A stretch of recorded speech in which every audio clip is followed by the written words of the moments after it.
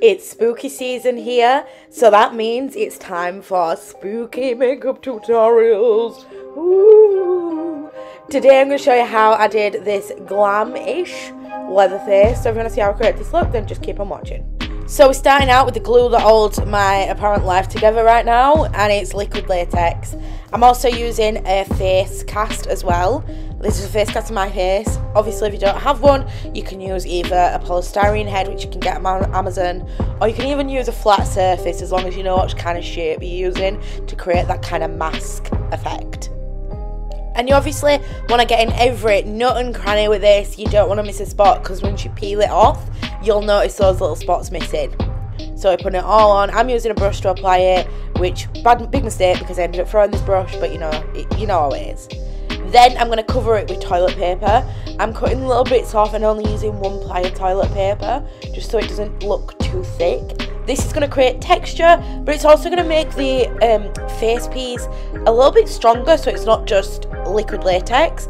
It's got something to it, some integrity. Do you know what I mean? Integrity? I don't even know if that's the right word, but you know what I mean. I also ripped the toilet paper up as well, so it's a little bit more frayed and it's not got those square, straight edges. We want it to look like almost like skin, so we don't want, you know, like sharp edges here and there. And then on top of that, we're going to add liquid latex all over the top of that, really blending it into all those edges, blending it out all over, covering every little bit of toilet paper.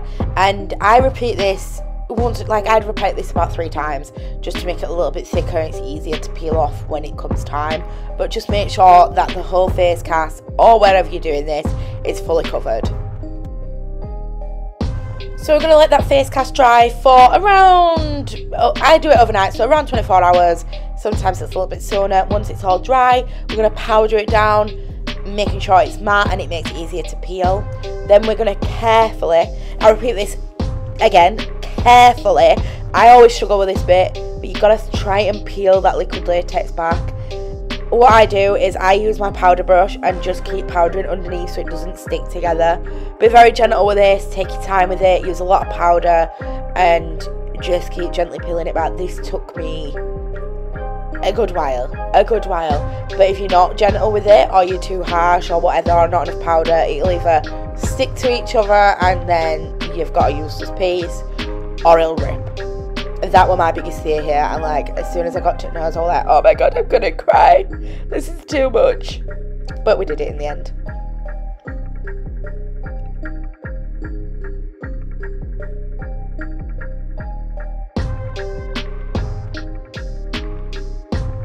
Best way I do it is try and almost like just peel a little bit, and once you get that little bit, start adding that powder and keep peeling little bits here and there until it all starts coming off in one piece. But like I say, it's tedious, it's annoying, it, it feels like it's gonna rip, but you've just got to be really careful. Also, as well, with the previous step, if you've done enough layers and it's dried long enough, then you should be fine. Also, with this as well, if you do get a few little rips and tears here and there, it's not that bad, it's not that important because I mean, you'll see why soon, but it's not. It actually adds to the look. You know, I think Leather's face is is meant to be like someone else's skin on his face, so like, it's fine. Do you know what I mean? It's fine.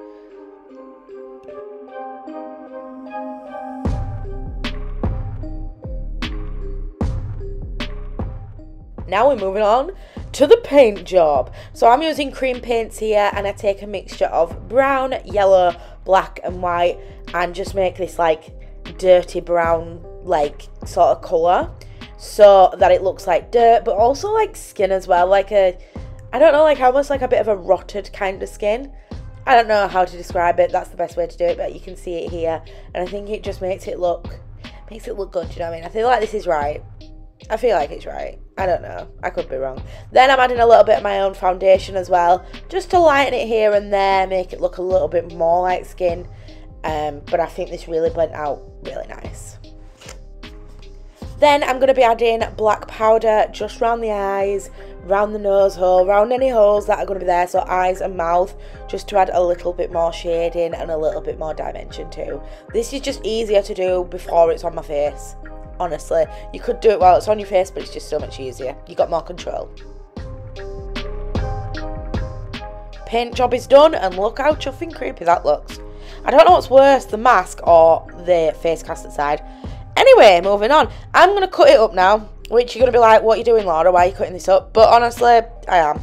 We're going to cut it up into little sections and make sure we don't lose it. Not into little sections, just into half. Because we're going to sew it back up to make it look a little bit more weird and a bit strange. I just thought it'd look really cool. So we're just going to sew up all those edges, basically sewing the mask back together. I use a black thread just so you can see it a little bit better.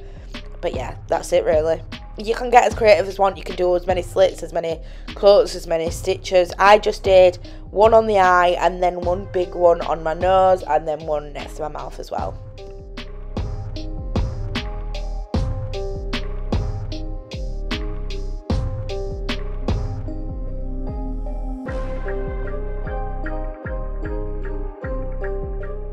Fun fact for you, I've never actually seen the um, Texas Chainsaw Massacre before. Never seen it, scares me too much. And I'm not, I like horrors, but I think about them too much. So like I'll watch a horror and then I'll go home, whatever, wherever I am, I'll go to bed and I'll be like, shit, someone's gonna come kill me now. This is, this is fabulous. So I don't really watch them. I avoid watching them.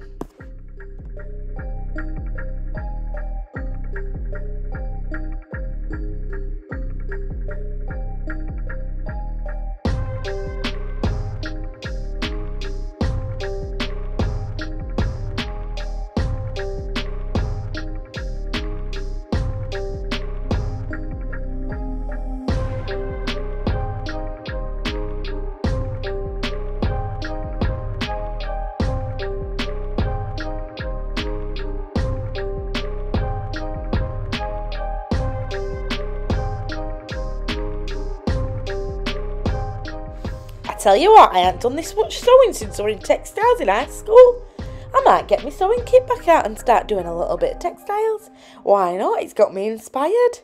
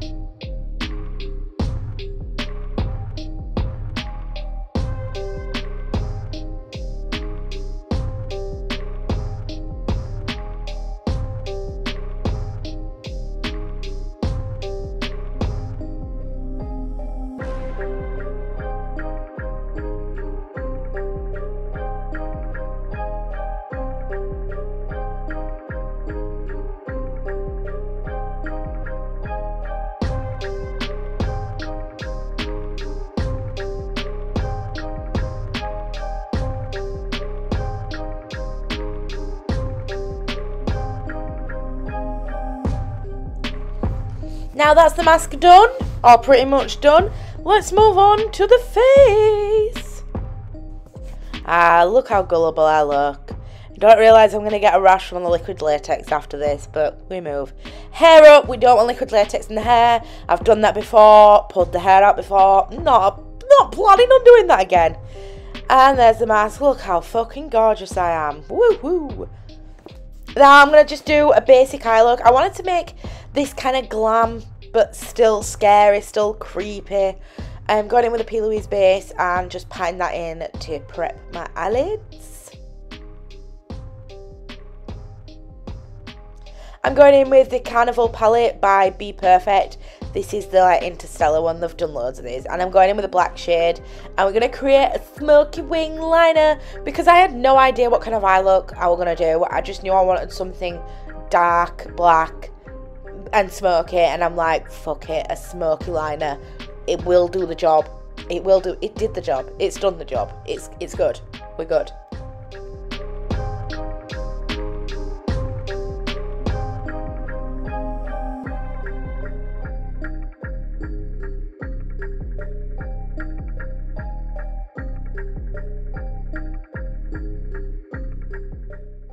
and I'm 90% sure that Leatherface would wear a liquid liner. Um, and if you don't, I, I'm going to. Because why would I, why wouldn't I? Why wouldn't I?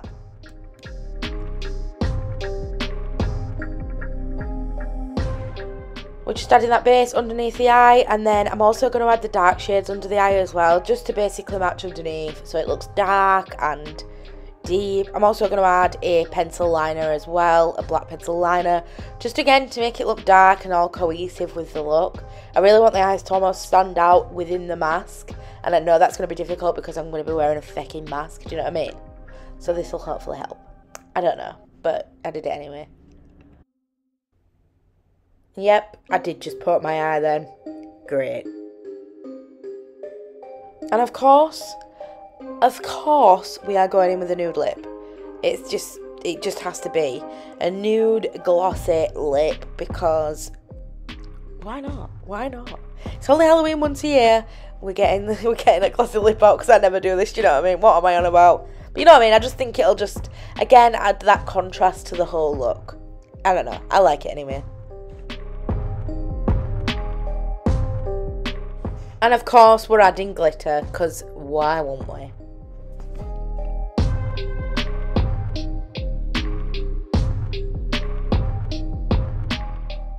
And then we're adding lashes and mascara, mascara and lashes. I wish I'd put the lashes on after though because I actually got liquid latex in my lashes, which isn't good, but is what it is. And then I'm just going to use liquid latex just to attempt, attempt to stick this mask on honestly having great difficulty with it, but we got there eventually, so that's the main thing.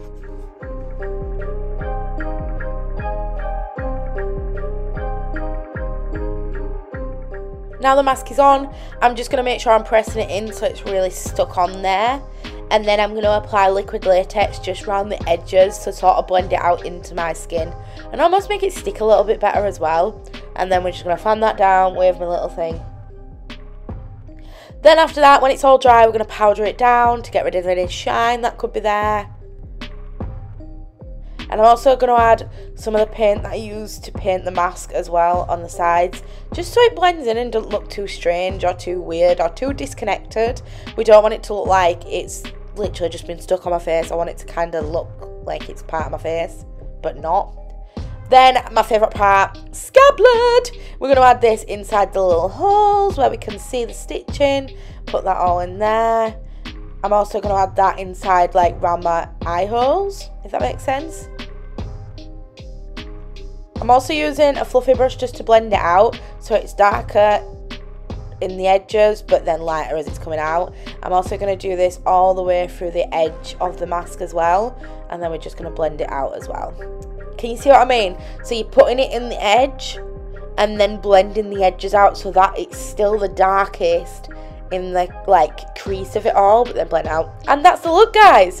All done. What do you think? I love it. I'm obsessed. Ah!